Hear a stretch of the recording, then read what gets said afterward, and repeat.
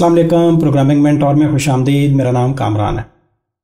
ट्रैपी इस वक्त काफ़ी फ़ेमस प्लेटफॉर्म चल रहा है सीएमएस के तौर पे, और इसको हेडलेस सीएमएस के तौर पे यूज़ किया जाता है। तो मैंने कहा, चूँकि हम लोग सी एम पे काफ़ी वीडियोस बना चुके हैं, और इसको भी थोड़ा सा एक्सप्लोर कर लेते हैं, क्योंकि हम ड्रूपल पे काफ़ी वीडियोस बनाते हैं, और ये भी एक हेडलेस सी एम है। तो अगर हमें इनको कंपेयर करना है फीचर वाइज या इन फ्यूचर अगर हमें यूज़ करना है उसमें हमें किसको पिक करना चाहिए? तो ये चीज़ हम तभी जान पाएँगे जब हम इसमें सारा पूरा स्ट्रक्चर बिल्ड करके साइड बना के देख लेंगे, जैसे हमने ड्रूपल में किया है काम। तो अभी ये वाली जो सीरीज़ हम स्टार्ट कर रहे हैं, इसमें हम क्या करेंगे?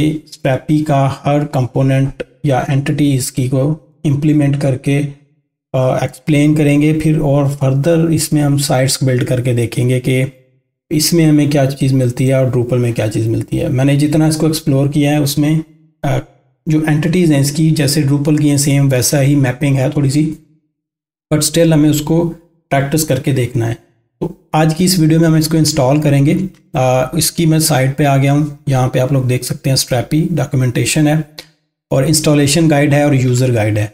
और यहाँ से हम इधर से भी जा सकते हैं डेवलपर गाइड से भी और वहाँ से भी लैंडिंग पेज से भी जा सकते हैं।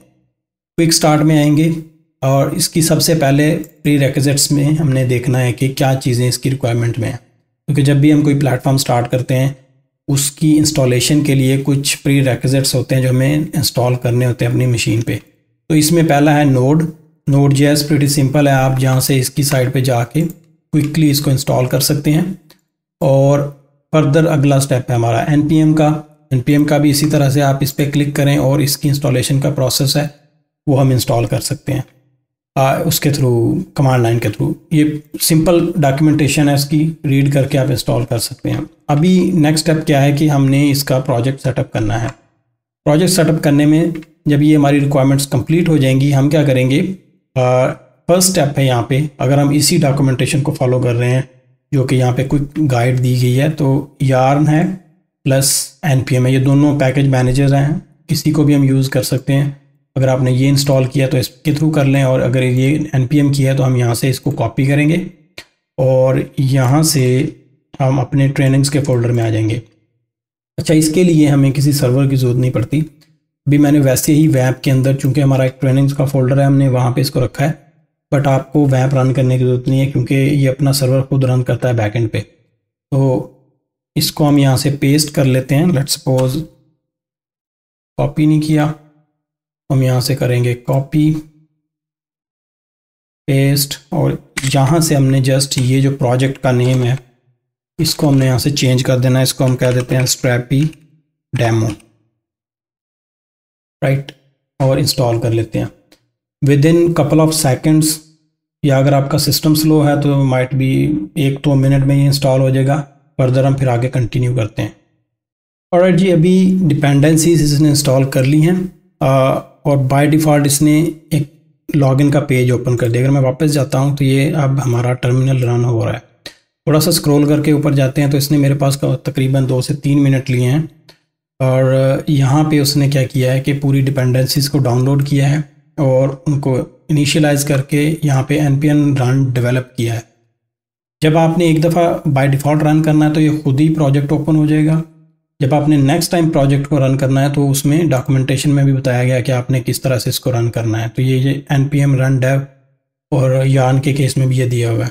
प्रोजेक्ट में जाने के बाद आपने ये कमांड्स रन करनी है। तो नाउ ये काम करने के बाद आपका स्ट्रैपी का पैकेज बिल्ड होगा पूरा, उसका एडमिन पैनल बिल्ड होगा और ये आपका प्रोजेक्ट रन हो जाएगा।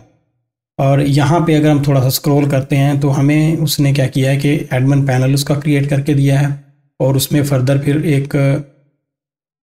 पोर्ट पे उसको रन कर दिया जो कि थर्टीन थ्री सेवन की एक पोर्ट है। लोकल होस्ट के साथ बिकॉज़ बाय डिफ़ॉल्ट आपके पास हो सकता है एटी पे कुछ और चल रहा तो इसने एक पोर्ट ऐड कर दिए साथ। अब हमने क्या करना है कि इसमें अपना यूज़र नेम पासवर्ड क्रिएट कर लेना है, जो भी हमने, क्योंकि ये एडमन अकाउंट होगा तो मैं यहाँ से इसका फ़र्ज़ किया admin at one two three four रख देता हूँ। और यही पासवर्ड तो मैं करने के बाद एक अकाउंट क्रिएट कर लेता हूँ। और राइट मैं यहाँ पे डैशबोर्ड में लॉगिन हो चुका हूँ। बाय डिफ़ॉल्ट जैसे हम ड्रूपल में लॉगिन हो जाते हैं सेम यहाँ पे भी आपको एक डैशबोर्ड मिलेगा। लेकिन क्योंकि ड्रूपल का डैशबोर्ड काफ़ी बड़ा होता है और ये जो डैशबोर्ड है, ये छोटा सा है, इसमें लिमिटेड सी चीज़ें हैं।